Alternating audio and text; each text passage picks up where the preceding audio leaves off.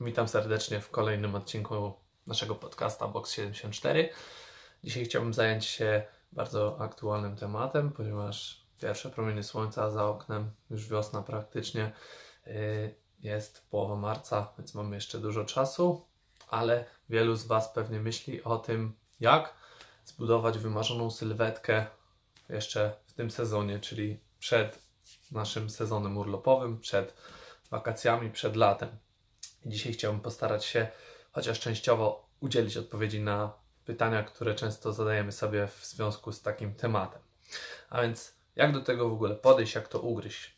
Moim zdaniem powinniśmy być ze sobą jak najbardziej szczerzy i od samego początku dość dokładnie zdefiniować cel, czyli to, na czym nam zależy. Nie możemy po prostu myśleć o tym jako o plażowej sylwetce, o idealnym ciele, o nie wiem, schudnięciu e, tyle czy tyle kilogramów, ponieważ to nie będzie zbyt obrazowe. Musimy pomyśleć o tym, w jakim momencie będzie to zadowalające dla nas, co chcemy osiągnąć, jak to ma wyglądać, jak będziemy się czuli, gdy już to osiągniemy, co nam to da, dlaczego to chcemy zrobić. To są wszystko pytania, na które warto sobie odpowiedzieć ponieważ e, tylko wówczas będziemy mieć dużo większą motywację i większe szanse na to, żeby dotrzeć do tego momentu, etapu, chwili, nie wiem, wyglądu, w którym będziemy w stanie powiedzieć, że jesteśmy zadowoleni z siebie i osiągnęliśmy cel.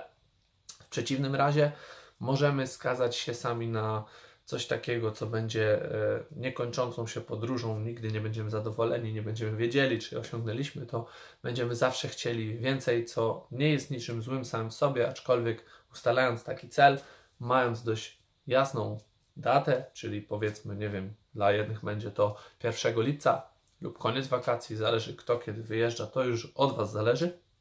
Musimy to zdefiniować, musimy sobie to określić.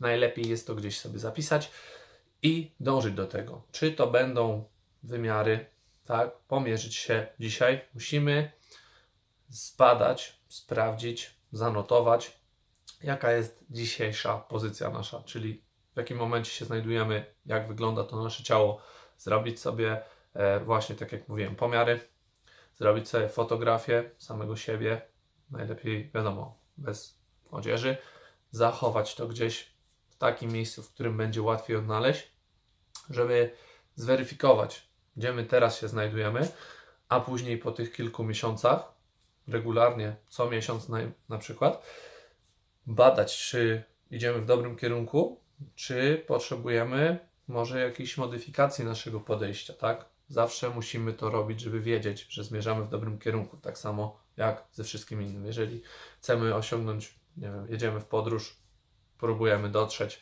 w pewne miejsce, kolejne punkty, etapy tej podróży podpowiadają nam, że zbliżamy się w danym kierunku, tak? Drogowskazy, informacje na drodze i tak dalej. To jest taki prosty przykład, który może to zobrazować. Pomiędzy tymi krokami musimy, czyli naszym sukcesem a dniem dzisiejszym, musimy zidentyfikować, co tak naprawdę e, chcemy zrobić. Czy będzie to dla wielu, może to być na przykład e, sytuacja, w której dzisiaj uważają, że mają lekką nadwagę, jedni mniejszą, drudzy większą.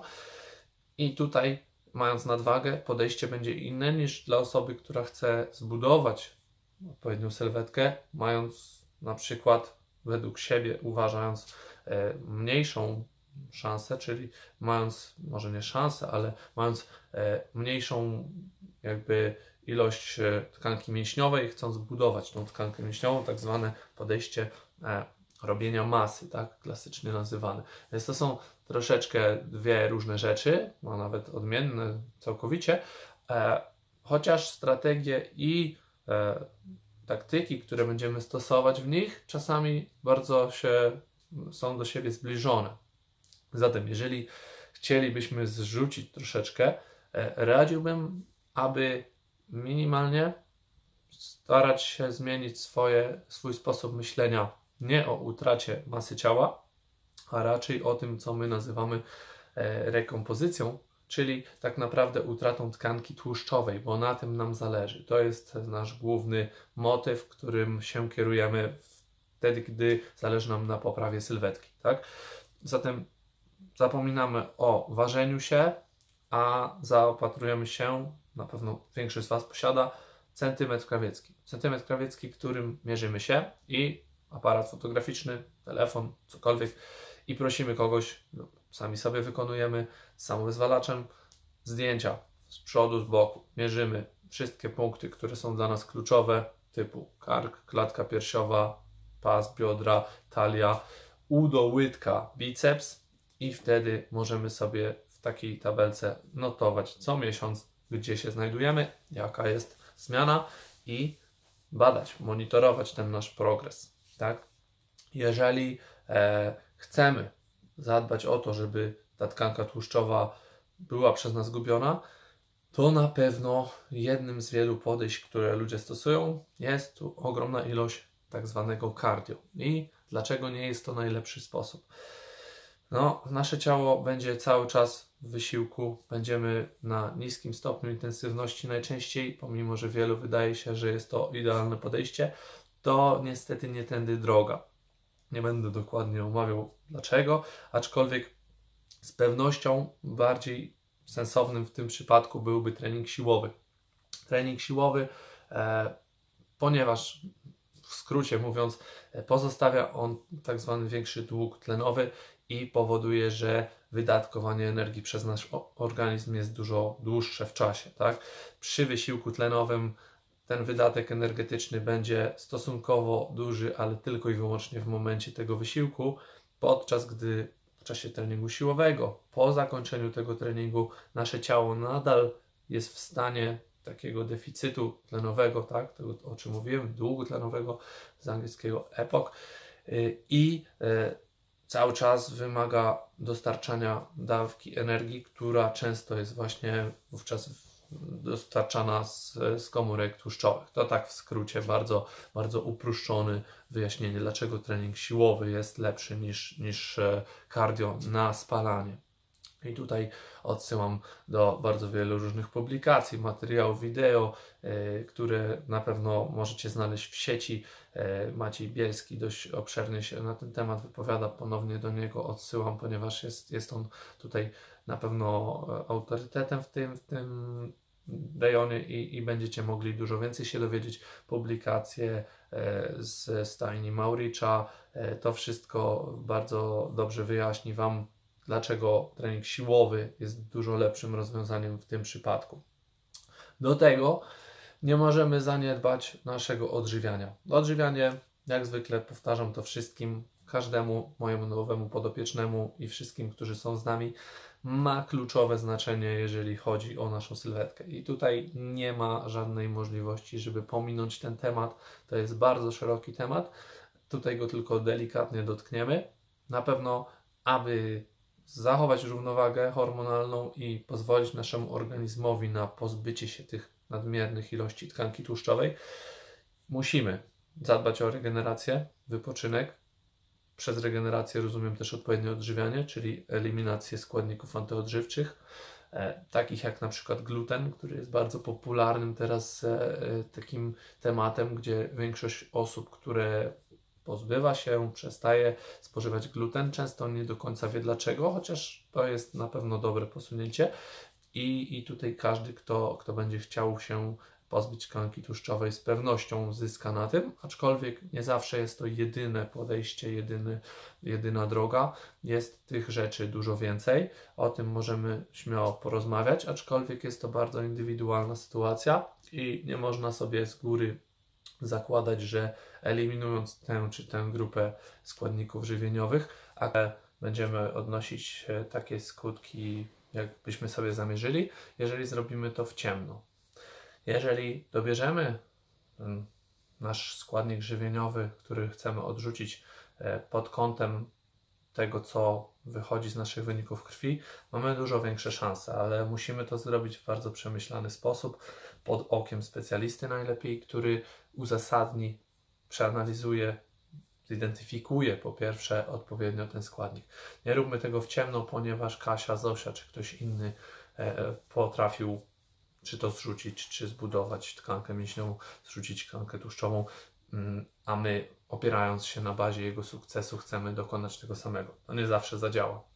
Nie zawsze to zadziała. Na pewno e, ważne jest to, żeby wyeliminować ze swojej diety to, co może nam przeszkodzić, ale nie zawsze w ciemno. Nie zawsze w ciemno. Róbmy to mądrze. Podobnie jak mądrze powinniśmy układać swoje treningi. Jeżeli nasz trening będzie doprowadzał do ciągłego e, tak zwanego zajeżdżania swojego organizmu, czyli e, będzie ponad nasze możliwości regeneracyjne, to również nie będziemy naszemu organizmowi dawali chwili wytchnienia na to, żeby się mógł odpowiednio zregenerować, wypocząć, naprawić, a co idzie za tym, gubić tą nadmierną tkankę tłuszczową. Tutaj sen, stres, to jest wszystko bardzo istotne, ale również nadmierny wysiłek, który może być, nim może być również trening. Nawet trening, który e, z założenia jest treningiem przemyślanym, jeśli będzie niedopasowany do naszych możliwości i potrzeb, e, może doprowadzić do większych szkód niż korzyści. Więc pamiętajmy o tym, żeby nie kopiować również czyjegoś planu treningowego, ponieważ tej osobie przynosi on efekty, które ona zamierzyła, mogą być one zupełnie inne niż nasze, tylko starać się zrozumieć, dlaczego pewne ćwiczenia są dla nas dużo lepsze niż inne, niż te same ćwiczenia dla innych. E, to jest też bardzo indywidualna sprawa i tutaj właśnie e, należałoby, czy to samemu dotrzeć do, do źródła, do, do prawdy, e, do, do tego, co, co jakby ma znaczenie dla nas i określić sobie to, lub zapytać kogoś, kto zna się na tym, poprosić trenera o to, aby ułożył taki plan, uzasadnił, dlaczego akurat wybór tych ćwiczeń dla naszej osoby, dla naszego celu, tak? to na pewno byłoby krokiem bardzo mądrym.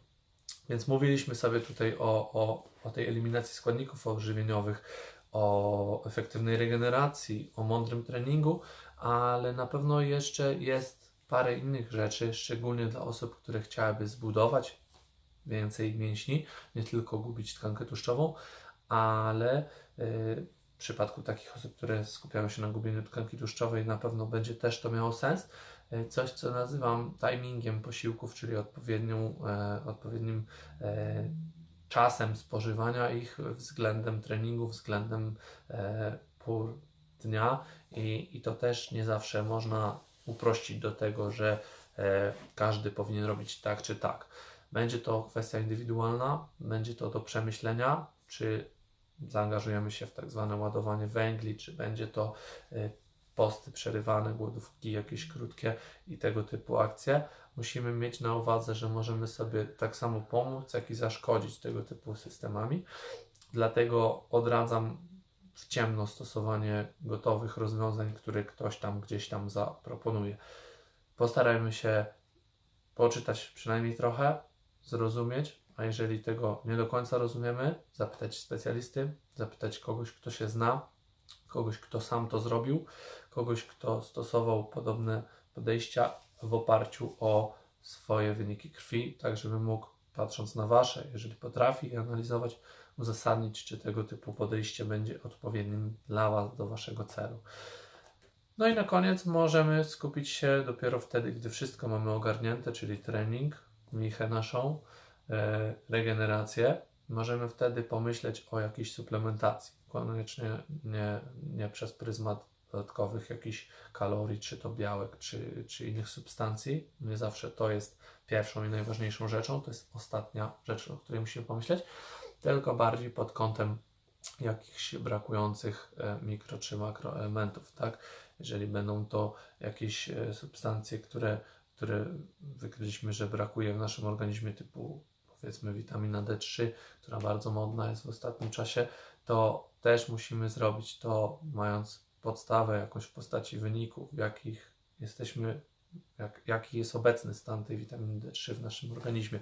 Nie zażywajmy w ciemno e, dawek, które poleca Pani z reklamy, ponieważ no, na pewno nie będzie to uzasadnione dla nas. Może w ciemno uda się, ale no, ryzyko jest takie, że będziemy mieć później e, zawyżony ten poziom i, i niepotrzebnie nasz organizm będzie z tym walczył również, więc to też nie jest dobre. Suplementacja, temat bardzo szeroki, poruszany już przeze mnie poprzednio. być może jeszcze wrócimy do niego bardziej z, innego, z innej perspektywy, aczkolwiek te wszystkie rzeczy, o których tutaj mówiłem, będą się przyczyniać do tego, że bardziej lub mniej będziemy e, skuteczni w osiąganiu naszego sylwetkowego celu. Takie podejście na pewno nie jest proste. Łatwiej jest ściągnąć sobie gotowca z internetu, łatwiej jest po prostu się zagłodzić, łatwiej jest się przetrenować, czy może nawet nie przetrenować, co zajechać. E, I większość osób patrzy na to właśnie w ten sposób. Nie popełniaj tego błędu, postaraj się w bardzo przemyślany sposób zastanowić się nad tym, co jest ważne dla Ciebie. Jeżeli masz możliwość, y, to przeanalizuj swoje wyniki krwi, dobierz odpowiednio systemu odżywiania do swojego organizmu, typu życia i, i Twojej budowy. Jeśli e, jesteś naprawdę osobą, której zależy, to uda Ci się osiągnąć ten sukces, ale tylko i wyłącznie wówczas, gdy będziesz robić to konsekwentnie. Konsekwencja to jest coś, bez czego nie jesteśmy w stanie tutaj nic ruszyć. Regularność, e, jakby e, potrafienie ciągłego pokonywania trudności, które będą się pojawiać. Na pewno sukces nie pojawi się z dnia na dzień, będzie to trwało, często dłużej niż nam się wydaje. E, często będzie gorszy dzień, będzie gorszy tydzień, czasami miesiąc i trzeba umieć to przetrwać. Gdy nie radzisz sobie z tym samodzielnie, zwróć się po poradę, po jakiś sposób do kogoś, kto to przeszedł, kto sam to zrobił, kto potrafi, e, ponieważ taka odpowiedzialność za samego siebie najczęściej kończy się tak, że gdy pojawiają się właśnie pierwsze trudności, gdy życie stawia przed nami różne inne wymagania, no to pierwszą z tych rzeczy, którą odrzucamy, jest dbanie o siebie, podczas gdy właśnie powinno być dokładnie na odwrót. Powinniśmy zadbać o siebie za, za jakiś czas, po kilku latach, jeżeli będziemy to robić, zauważymy, jak bardzo to procentuje i jak dużą, dużą, duży zysk jest z takiej inwestycji w siebie. Poświęcenie tego czasu na choćby tą godzinę, półtorej, czy czasami nawet krócej dziennie, o, po to, żeby się troszeczkę zająć sobą, tak? Gdy są nagłe nieprzewidziane zadania, gdy praca, pracodawca, życie wymaga od nas, żebyśmy nagle robili coś innego, musimy być świadomi tego, że odkładanie dbania o siebie dzisiaj będzie kosztowało nas dużo więcej w przyszłości. Nie mówię tutaj o koniecznie o finansach, aczkolwiek o czasie, o wysiłku, o, o szansach na sukces, tak? Czyli będzie coraz trudniej. Jeżeli nie zrobimy dziś małego kroku, to za 2, 3, 5, 15 lat tych kroków będziemy musieli zrobić dużo więcej, więc e, do zastanowienia się, co jest dla nas ważne, czy chcemy być sprawnym człowiekiem przez całe życie, mieć satysfakcję z tego, że jesteśmy w stanie robić więcej, dłużej, e, silniej, mocniej, nie wiem, nazwij to sam, już teraz, za miesiąc, za pół roku, czy budować to dopiero za 7-10 lat, gdy wszystko nas boli, gdy już wyniki krwi wskazują na wczesne stany przedchorobowe, tak? To wszystko jest decyzja indywidualna. W mojej roli leży tylko tyle i, i, i zależy mi na tym, żeby ludzie myśleli o tym więcej, żebyś przez jakiś czas teraz zastanowił się nad tym, czy tylko ta sylwetka na lato jest kluczem do sukcesu, czy może ma to jakiś głębszy sens i chcemy dążyć do, do czegoś, co będzie dla nas dużo dłużej procentowało, będzie miało dużo większe znaczenie na długie lata. Mam nadzieję, że, że coś takiego e, każdy z Was sobie usiądzie, przemyśli, ponieważ tylko wtedy ma to tak naprawdę sens. Dążenie do chwilowej poprawy sylwetki jest bardzo fajne, jest taką e, startową motywacją dla, dla wielu osób, ale tylko wtedy, gdy wdrożymy to na, na dłuższy czas, na etap, który będzie kilka lat przynajmniej zajmował i wyrobimy w sobie te zdrowe nawyki, będzie to miało naprawdę duże, duże znaczenie dla naszego życia i zdrowia w przyszłości. Z tego Wam życzę, żebyście e, potrafili tego dokonać, a jeżeli macie z tym na razie jakieś kłopoty, problemy, Zapraszam serdecznie, zwróćcie się do nas, chętnie pomożemy. Robimy konsultacje żywieniowe na takiej zasadzie, jaką tutaj opisałem. E, oczywiście treningi funkcjonalne, cross, kettlebell, indywidualne, grupowe, również dla dzieci. E, to wszystko to są kroki, które czynimy w kierunku lepszego zdrowia i lepszego życia, czego Wam bardzo serdecznie życzę. Chętnie usłyszę jakiekolwiek komentarze. Jeżeli chcecie się podzielić czymkolwiek ze mną osobiście, łukaszmałpa.box74.pl A na dzisiaj to tyle. Dzięki wielkie. Do następnego. Cześć.